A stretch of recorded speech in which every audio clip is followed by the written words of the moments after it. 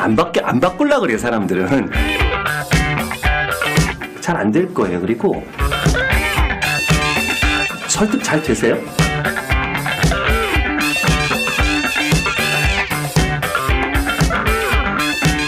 여러 가지 원인이 있겠는데요. 일단 저는 더 궁금한 게 이미 아까 왜 농협을 시작하셨습니까 했을 때 좀 중요한 얘기를 못 들은 것 같거든요. 이 영업을 안 해보신 분이 영업 중에 제일 힘들다는 보험을 시작하셨단 말이에요. 보통은 어, 좀 쉽게 하시는 분들은 뭐 쉬운 건 아닌데 어, 그런 거 있잖아요. 뭐 이렇게 영업이 아닌 듯 영업하는 게 있어요. 어? 이런 분들은 영업이 아닌 듯 하면서 영업하면서 하시는 거 이런 것 쪽으로 이제 라이트하게 시작하시는 분들도 있거든요. 근데 거기도 힘든데. 예. 근데 그 보험은 이제 어떻게 보면 제가 이렇게 쭉 연구해보고 만나봐도 끝판왕이거든요. 진짜 힘든 게 보험이에요. 그래서 그걸 선택하신 이유는 그냥 우연히 아니면 음, 우연히 recruiting 당했군요. 그러면 6개월 하셨죠. 그럼 제가 제일 많이 해드리는 얘기가 어, 보통 보험사에서 이 정착률을 1년으로 보거든요. 1년 넘어갔냐 안 넘어갔냐로 보는 이유가 있어요. 1년을 넘기면 쭉 가요. 1년 미만에 다 절반 이상이 사망하거든요. 그래서 40%가 넘기기 어려워요. 40%면 이제 평균 정도 뭐 된다고 그래요. 어, 그러면 이방 6개월 하셨으니까 지금 굉장히 힘든 시기예요. 어, 그래서 7분 농선 넘었는데 1년이 넘어가면 어느 보험사나 1년 살아남은 상대로 워크샵을 또 해요. 기념 워크샵을. 제가 주로 거기 가서 가긴 하거든요. 그동안 고생하셨습니다. 이러면서 이제 동기화 시켜드리고 오는데 왜 그러냐면 주변에서 이제 보험을 시작하셨어요. 그럼 다른 거는 그냥 하나 사주면 돼요. 그냥 어, 사주면 되는데 보험은 하나 사주는 게 아니라 이걸 20년을 보야 되잖아. 근데 내가 고객이라도 얘가 좀 대기다 그만둘 것 같거든. 어, 좀 대기다 그만둘 것 같은데 내가 하나 도와주면 그래야 1년 지나면 해약하면 분명히 손해 보잖아. 아, 이거 이러면 1년 후에나 해줘야겠다는 생각이 들어요. 저도 그랬거든요.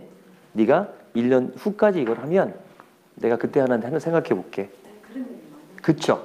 그럼 그러니까 그러면 이제 약속을 받아놓은 거죠. 이제 공증 쓸까? 뭐 이러면서 이제. 그래서 1년간은 버티셔야 돼요. 그냥 공부한다는 마음으로.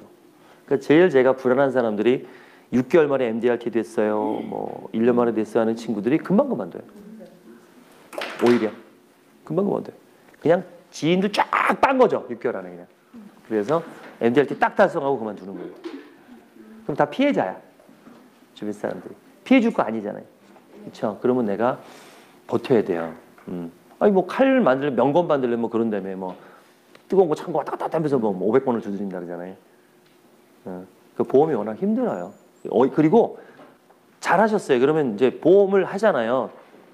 저는 그런 얘기도 좀 드리고 싶어. 보험을 이제 오래 하시잖아. 뭐 5년, 10년 하잖아요. 그럼 고객들이 생기죠. 그러면 아까 얘기한 것처럼 다른 영업하는 사람들과 콜라보를 해도 되고 투잡 드는 분들도 꽤 있어요. 보험하면서 뭐 네트워크 하시는 분도 있고 그래요. 어, 저는 나쁘지 않다고 생각해요. 저는 수입은 다변화시켜야 된다. 회사에서 싫어하겠지. 책임지지도 않을 거면서. 파트너 관계예요. 회사랑 나는. 종속 관계 아니에요. 일단은 지금은 내가 좀 도움을 받고 있지. 나도 어느 정도 크면 돈 많이 벌어줬잖아요. 회사에다가. 그럼 나도 내 사업 할 수 있어요. 그럼 근데 보험을 해서 고객을 확보하면 다른 거 하기도 쉬워. 어. 그런 마음으로 버텨야지. 어떻게 하겠어? 내가 이렇게 뭐 빡 이런 게 아니라 할 수 있어요. 6개월 버텼는데 뭐. 그리고 지점장이 막 하는 거 한 개라도 한개 흘리세요. 걔는 그러라고 있는 거니까. 어, 그럼 걔네도 그러라고 있는 거야. 그냥 걔네 입장인 거고. 아, 그럼 자르든가. 내가 지금 천천히 가겠다는데, 근데 그만두는 것도 아니고 내가 천천히 가겠다는데, 사람이라는 게 다 다르잖아, 개인별로. 뭐, 빨리 걷는 사람도 있지만 좀 천천히 걷는 사람도 있고, 근데 천천히 걷는 사람도 오래 걸을 수도 있잖아. 이방 하셨으면. 끈질기게. 어. 네, 그래요. 그 플래너 쓰면서. 우리 또 배울 거니까 괜찮아요. 자, 김경희만 힘든 건 아니에요. 다 그 고비를 넘깁니다.